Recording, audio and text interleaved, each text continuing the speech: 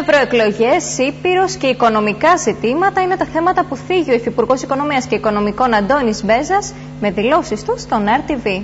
Οι ευρωεκλογές διεξάγονται σε μια περίοδο που απαιτούνται αξιόπιστα σχέδια αντιμετώπισης της οικονομικής κρίσης, υπογραμμίζει ο Υφυπουργός Οικονομίας και Οικονομικών Αντώνης Μπέζας, αναφερόμενος για μια ακόμη φορά στους άξονες της κυβερνητικής πολιτικής.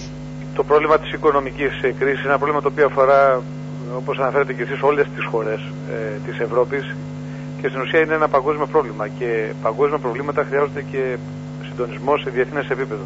Αυτό γίνεται εδώ και αρκετό καιρό στην Ευρώπη. Ε, είναι χαρακτηριστικό ότι πάρα πολλές φορές έχει συνεδριάσει και η Ευρωπαϊκή Επιτροπή και τα Συμβούλια Υπουργών Οικονομίας αλλά και οι ηγέτες της Ευρώπης για να συντονίσουν τη δράση τους ε, στην προσπάθεια αντιμετώπισης των επιπτώσεων της κρίσης.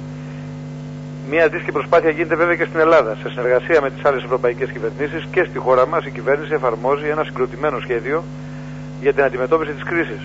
Και δυστυχώς για τη χώρα, οι μόνοι οι οποίοι έχουν προτείνει συγκεκριμένη διέξοδο από την κρίση και συγκεκριμένους τρόπους αντιμετώπισης των επιπτώσεων της κρίσης ε, είναι η κυβέρνηση και όχι τα κόμματα της αντιπολίτευσης, τα οποία αρκούνται σε λαϊκίστικες υποσχέσεις, σε ακοστολόγητες παροχές και σε γενικότητες οι οποίες δεν συνιστούν σε καμία περίπτωση σχέδιο εξόδου από την κρίση.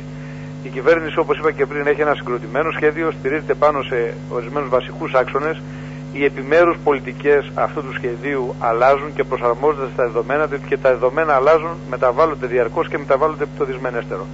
Πάντως, ε, η προσπάθειά μας είναι σε πρώτη φάση να προχωρήσουμε σε μια σταδιακή μείωση του ελλείμματος και του χρέους, δηλαδή να συνεχίσουμε τη δημοσιονομική εξυγίανση την οποία είχαμε ακολουθήσει τα προηγούμενα χρόνια. Ο δεύτερος άξονας πάνω στον οποίο κινούμαστε είναι η στήριξη της πραγματικής οικονομίας. Ε, έχουμε πάρει